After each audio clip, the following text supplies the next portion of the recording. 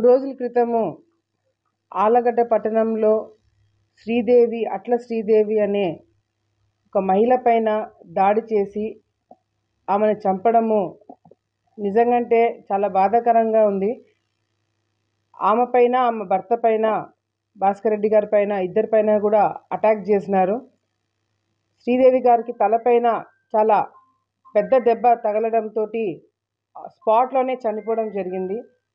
నిజంగంటే ఈ గత గడిచిన కొన్ని నెలల క్రితం నుంచి మరి ఆలగడ్డలో జరుగుతున్న ఎన్నికల్లో నాకు సపోర్ట్ చేయడమే కాకుండా వాళ్ళ హస్బెండ్కి అంటే భాస్కర్ రెడ్డి గారికి ఆయన డయాలసిస్ పేషెంట్ అయినా కూడా ఆయనని జాగ్రత్తగా చూసుకుంటూ సమయం దొరికిన ప్రతిసారి కూడా నాతో పాటు మరి ప్రచారంకి తిరిగి నేను లేనప్పుడు కూడా మరి సొంతంగా తను తనకు పరిచయం ఉన్నవాళ్ళు తన బంధువులు అందరి దగ్గరికి కూడా వెళ్ళి తప్పకుండా ఈసారి తెలుగుదేశం పార్టీ అధికారంలోకి రావాలి. రౌడీజం గూండాయిజం అనేది రాష్ట్రంలో లేకుండా ఉండాలి అంటే మళ్ళీ చంద్రబాబు నాయుడు గారి పరిపాలన రావాలి.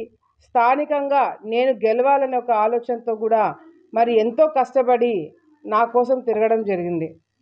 మరి ఈరోజు ఆమెని చంపేసిన వ్యక్తులు ఆల్రెడీ ఎఫ్ఐఆర్ పోలీస్ డిపార్ట్మెంట్ వాళ్ళు ఎఫ్ఐఆర్ కట్టడం జరిగింది.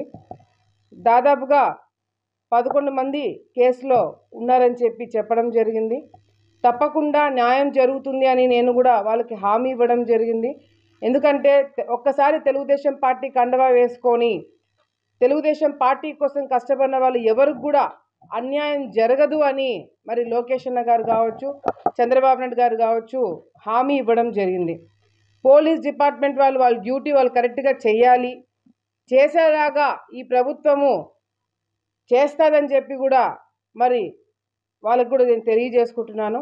ఎందుకంటే అందరూ గత ప్రభుత్వంలో వచ్చిన పోలీస్ డిపార్ట్మెంట్లో ఉన్న వాళ్ళందరూ కూడా ఇప్పుడు ఆళ్ళగడ్డలో గత ప్రభుత్వంలో వేసుకున్న వాళ్ళు ఉన్నారు కాబట్టి మరి వాళ్ళ మీద ఇంకా ఏమో ప్రేమాభిమానాలు చూపిస్తున్నారో అనే ఒక చిన్న డౌట్ అనేది అందరికి కూడా ఉంది.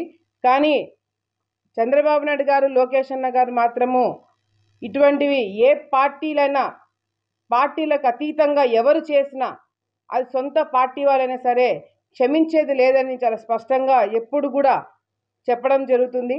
మేము కూడా ఆలగడ్డ ఎమ్మెల్యేగా నేను ఆ కుటుంబానికి అండగా ఉండడమే కాకుండా అన్ని విధాలుగా వాళ్ళకి న్యాయం చేస్తానని చెప్పి కూడా ఈ సందర్భంగా కుటుంబ సభ్యులకి చెప్తూ ఆడవాళ్ళ మీద రాయలసీమ ప్రాంతంలో మామూలుగా ఆడవాళ్ళ జోలికి రారు పిల్లల జోలికి రారు అంటారు. కానీ ఈరోజు రాయలసీమలో ఆడవాళ్ళని హత్య చేసేంత స్థాయికి ఈరోజు దిగజారినారంటే నిజంగంటే చాలా విచిత్రంగా అనిపిస్తుంది.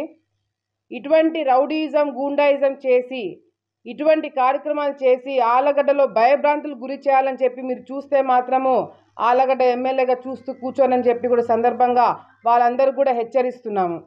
మరి అంతేకాకుండా గతంలో కూడా నంద్యాల ప్రాంతం నుంచి రౌడీలని గూండాలను తీసుకొచ్చి కిరాయి కిరాయిలు ఇచ్చి వాళ్ళని మరి ఈరోజు ఆలగడ్డ ప్రాంతంలో కూడా వాళ్ళని తిప్పి భయభ్రాంతికి గురి చేయాలని చెప్పి చూస్తున్నారు.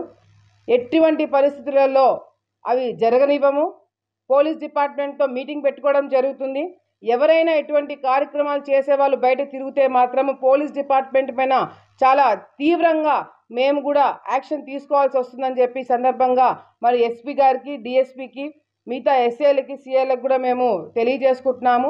మీరు ప్రభుత్వానికి చెడ్డ పేరు తీసుకొచ్చే కార్యక్రమాలు ఏది చేసినా కూడా మేము ఊరుకోమని చెప్పి కూడా డిపార్ట్మెంట్ వాళ్ళకి తెలియజేసుకుంటూ ఇటువంటి సంఘటనలు మళ్ళీ జరగకుండా అన్ని విధాలుగా కూడా మేము చూసుకుంటామని చెప్పి ప్రజలందరూ కూడా తెలియజేసుకుంటూ ఎవరు కూడా ఆలగడ్డ ప్రాంతంలో ఈ విధంగా హత్యలు చేసుకుంటూ మరి చేసుకుంటూ పోతే భయభ్రాంతులు గురవుతారని చెప్పి కొంతమంది వ్యక్తులు అనుకుంటున్నారు. ఇక్కడ భయపడే వాళ్ళు ఎవరు లేరు. ఆలగడ్డని ప్రశాంతంగా పెట్టే బాధ్యత నాదని చెప్పి కూడా సందర్భంగా తెలియజేసుకుంటూ పోలీస్ డిపార్ట్మెంట్ వాళ్ళు సరిగ్గా పనిచేయకపోతే మాత్రము వాళ్ళ మీద కూడా యాక్షన్ తీసుకోవడం జరుగుతుందని చెప్పి ఈ సందర్భంగా ప్రజలందరూ కూడా తెలియజేసుకుంటున్నాము.